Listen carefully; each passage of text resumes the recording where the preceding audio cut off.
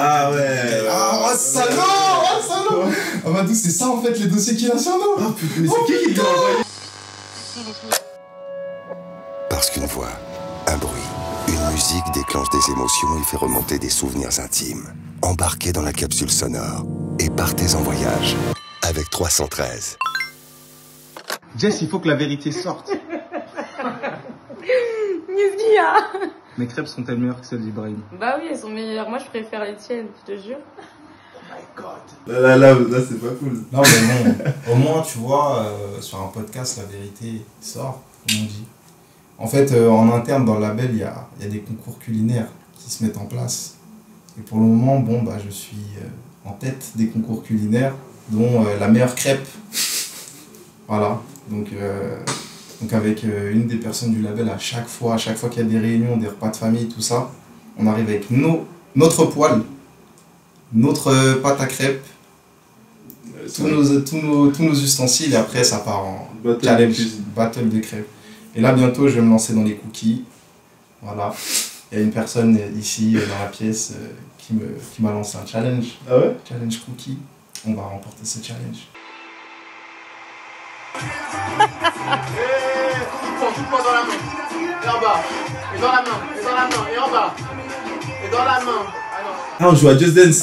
Ah aïe, ouais. Ah, oh ouais, salaud. Oh salaud Amadou, c'est ça en fait les dossiers qu'il a sur nous Ah putain, mais c'est qui qui l'a envoyé Putain, il a une vidéo de moi en train de jouer à Just Dance avec ça. En plus, faut Ça savoir. c'est ça c'est fin de Quand on est carrière. à la maison, on a des dégaines affreuses. Des Genre un shirt, une sale coiffure, un t-shirt limite, on dirait les sautés. On, est, on fait les mecs sérieux, tout ça. Carrément, là, t'aurais eu la vidéo, tu nous aurais pas regardé de la même manière. Dit, tu n'aurais même pas checké, t'aurais dit vas-y asseyez-vous là.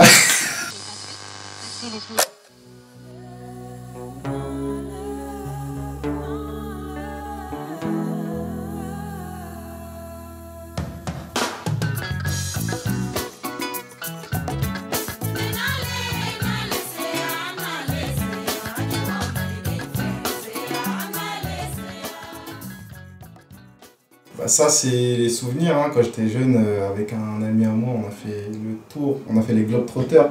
On est parti avec un pote à moi en Afrique.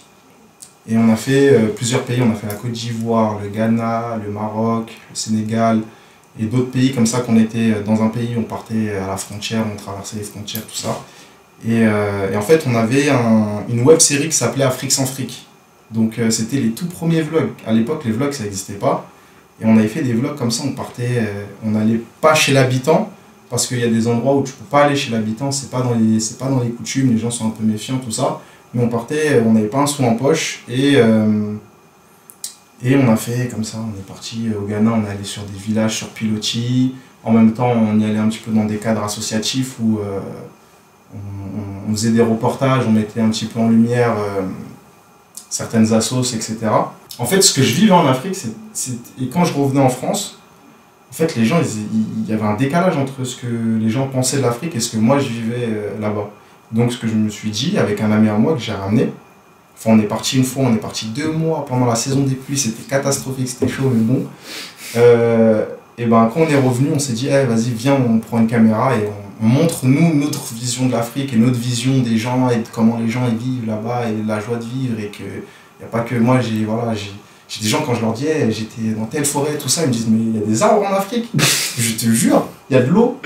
Je te jure, il y a des gens, il y a des gens qui me disaient ça. Ils ont de l'Afrique de fou. Des, des potes à moi, je me rappelle au lycée, euh, Vadim, il me disait mais euh, je vais montrer un jour à Abidjan le plateau.